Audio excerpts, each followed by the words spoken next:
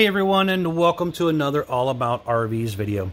Today we're going to take a look at a brand new 2020 and a half Heartland Road Warrior 430 RW fifth wheel toy hauler. This is a triple slide out toy hauler. We're going to take a few minutes, walk you through the inside and outside of this new RV. Alright guys, we're now up inside the new Road Warrior 430 RW. We're going to start here in the middle section again and then head to the garage area and then we'll come back up to the bedroom area. But uh, kind of looking straight here, we are looking at the kitchen area. You have a pretty good size U-shaped kitchen section here. Some storage down below, undermount stainless sink, high-rise faucet, quite a bit of cabinetry and drawer space for a kitchen and an RV little LED accent lighting and stuff there. There's also a roof vent up above us.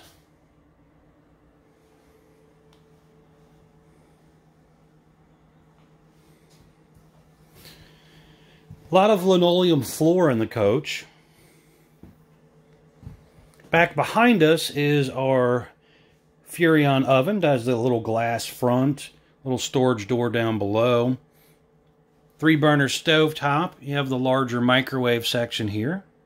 Some overhead cabinetry area. And then you do have the big residential fridge with the freezer on bottom. Now they do offer an option for a gas electric large refrigerator if you'd prefer that over the residential. Uh, most dealers stock it now with these large residentials. Um, so that's the way you'll usually find it on most dealers' lots. But uh, if you need to special order one the other way, just let us know. We can do that for you too.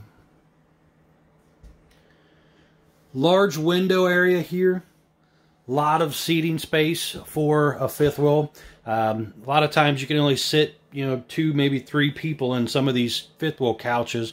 Here you could do four pretty comfortably on that couch and another three people over here on this uh, L-shaped sofa over here. So you know, a lot of these RVs will sleep eight, nine, ten people, but they seat two. So it's nice to see that you can seat quite a few people in here.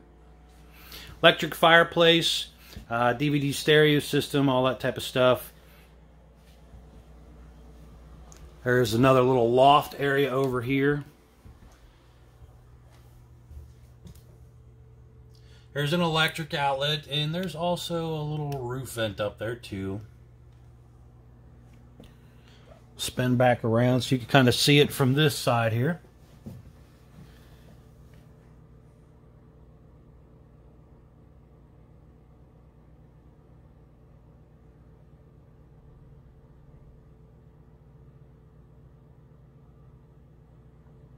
If you guys are interested in keeping up with more of my videos, please uh, don't forget to like, share, and subscribe try to update a lot of the new RVs as they come in and out of here. We have a lot of new stuff rolling in and out due to the mid-year model changes and things like that. So try to update them with the latest and greatest of these versions um, just so you kind of see what is the new stuff out there.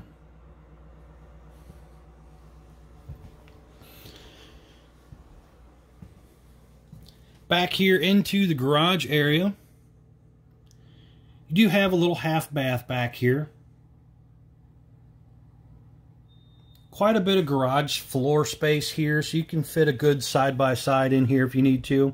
Uh, a couple motorcycles, some four-wheelers. You have the HappiJac bed system here, which does give you the two sofas in the bottom.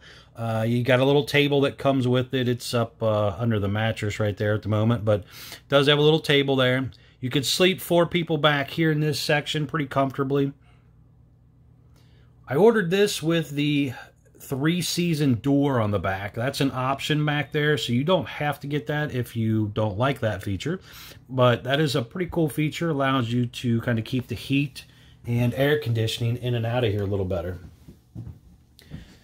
Now spin around here a little bit, and there is your washer dryer hookups if you wanted to do a washer dryer. Now the little half bath is kind of a smaller bath really good for kids or small people.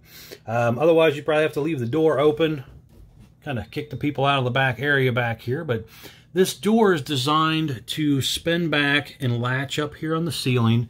And then you can unlatch this wall spin this section of the wall out of the way and latch it to get yourself an extra about four inches of width for a longer vehicle. And your little sink area out here.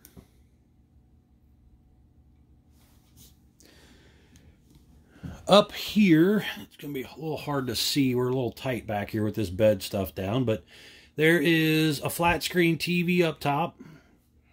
And you also have a little cabinet up there, some of your controls, an electric outlet up there as well.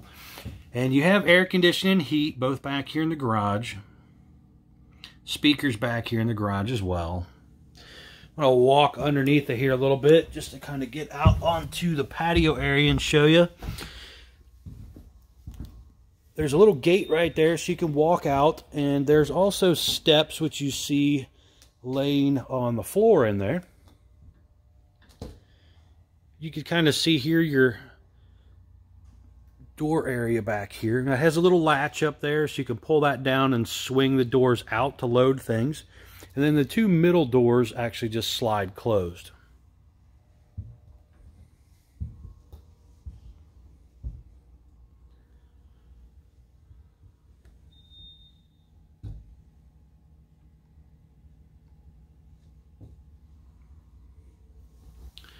All right, we're going to walk on through up to the bedroom area.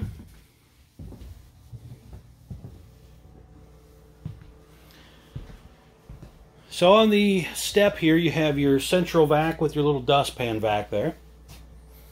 Some of the controls, there is the, this right here does the 110 volt heat pads. Those same heat pads are also 12 volts, so it works either way. And you got a little control center here fuel gauges, slide controls, uh, buttons for your Yeti package, which is your winter package, monitor panels, all that type of stuff, along with some light switches and stuff are right here.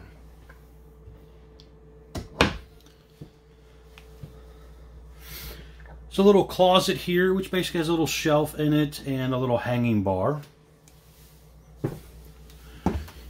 Bathroom here on the right. Now you can enter this bathroom from the bedroom or from the hallway. I'm pan down here a little bit. So you got linoleum floor in here, foot flush toilet. Some storage down below, solid surface countertop area here. Little cabinet up here, along with your medicine cabinet as well. Now there is a fan up top, little vent fan up here. And you do have your heat and everything. One piece fiberglass shower, which is really nice with the little glass enclosure and everything. But another thing that's a little unique is it actually has kind of a tub. That tub's probably a good, I'd say 14 inches deep roughly or so. Um, so if you do have a small kid or something like that, or if you are a smaller person, you could probably lay down in there a little bit and kind of do a little bath.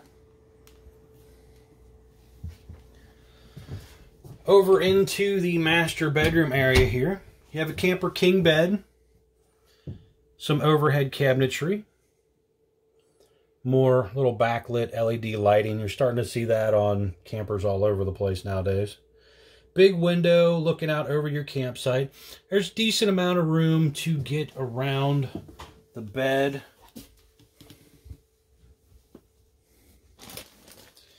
And we're going to pan over this way a little bit, and you have a slide out over there, which that little closet slide in the hallway was part of this slide out. So you have some more hanging closet and drawer space, little uh, area over there to set things, a window, electric outlet back over there as well.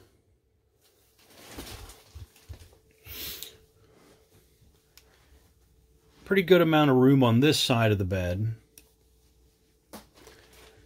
And you've got your flat screen TV over here on the wall.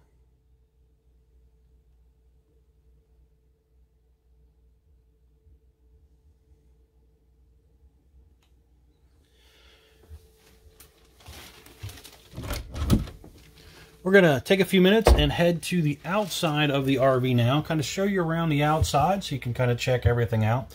Don't forget, guys, to like, share, and subscribe if you're interested in keeping up with more videos. All right, guys, we're now back on the outside of the new Road Warrior 430. And as you can see here, we're kind of checking out the door side rear section to start with and heading on around. We have the patio out still, so you can kind of see what that looks like from the ground here. There is, again, railing around there. You have steps that come down, touch the ground on the back. I don't have them out. They're laying in the garage. But, uh, you know, you got a step area there awning that comes out. That awning on the back is power, so you push a button, it goes in and out. There's an LED light strip on the end of it again. Your main awnings up here are both power as well, and they both have LED light strips built into the awning tubes. You have LED lights above both entry doors as well. Spare tire mounted underneath the rear section. It's a pretty cool little mount setup by BAL, and that actually drops down and telescopes out towards you, so you don't have to crawl under there necessarily and fight with the little cable to get it off. Um, so I like the little mount setup they're using. Step for the rear of the coach is a traditional hover step. They do this back here so it don't have to flip up into the garage and take up about six or eight inches of width back there. So it does save some garage space by going with the old school RV step. Now on your main entry door, they do the new MORryde step, and they do that in part because one, it holds more weight, two, it allows them to put a door anywhere. As you can see, that door is straight above the axle, where normally on these old schools, you could never do that. So that new step allowed for a lot of brands to modify their floor plans and try to make them a little more convenient. Triple axle unit, 16-inch um, wheels, G-rated tires. We'll get to the specs over there. Uh, hydraulic auto level system, MORryde 3000 suspension system, Dexter never adjust brakes. Um, unit has a large folding entry handle, deep tint safety glass windows, traditional screen door and stuff. Um, one thing I really do like that they've started doing now, Azdel composite sidewalls. So you have fiberglass, then Azdel, which does not rot, mold, mildew like traditional wood Luan that is found on most RVs. So definitely like the improvement there. Also, this was ordered with the Canadian Arctic package.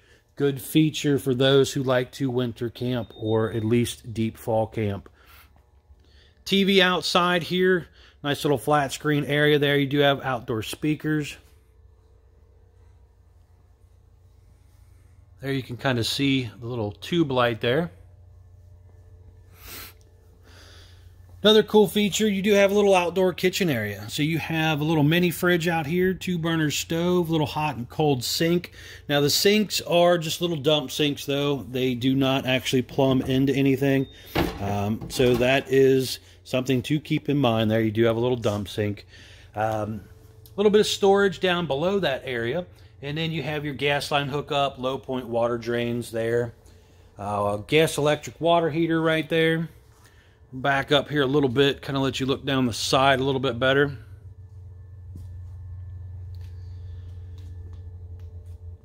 Nice fiberglass molded cap, has uh, three LED light strips built into it. And also the cap is notched back there. You can kind of see it on the uh, cornering, they do that for better turning radius for short bed trucks. So that cap's a little more bubbled out and sloped. One 30-pound propane tank behind this door. The other 30-pound propane tank is behind the other door on the other side. There are some more TV hookups here if you want to do a second TV outside. Uh, bypass for your winterization stuff, a battery disconnect down there, and some pass-through storage, central vac also down there. And there's a couple LED lights inside there. You can also see the aluminum tube framing.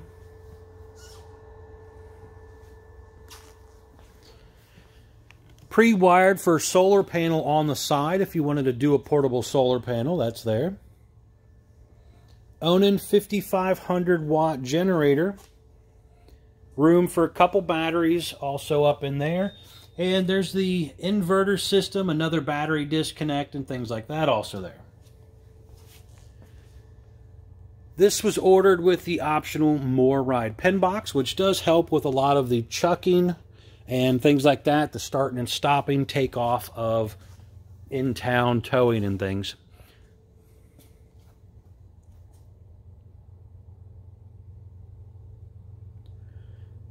Schwintek slide here on this bedroom slide. You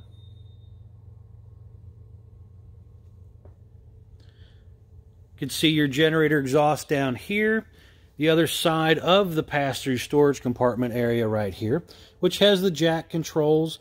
And then you have a little docking station area here with your cable satellite hookups, black tank flush, outside utility shower, water inlets, and stuff like that.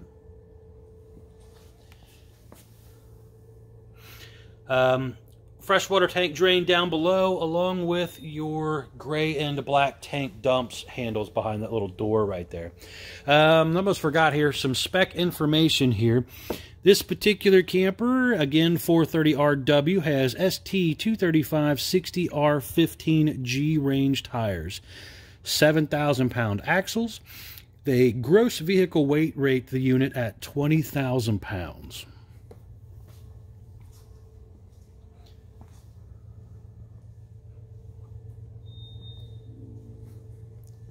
Again, guys, be sure to check out CouchesRVNation.com.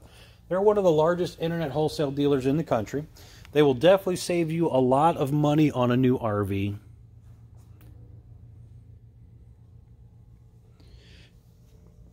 Another area here to dump the back uh, little half bath setup. There's another handle right there that you do have to pull behind that door. So you pull that handle, it goes on to the dump area in the front. But you got to remember to do that. There's a black tank flush right here for that also. Two fuel tanks, one for the generator, one for the toys. And your fuel controls and stuff are there, along with a little gas pump right there. Detachable power cord right there. Ladder on the back side here as well. We'll step back a little bit, let you look down this side a little bit easier.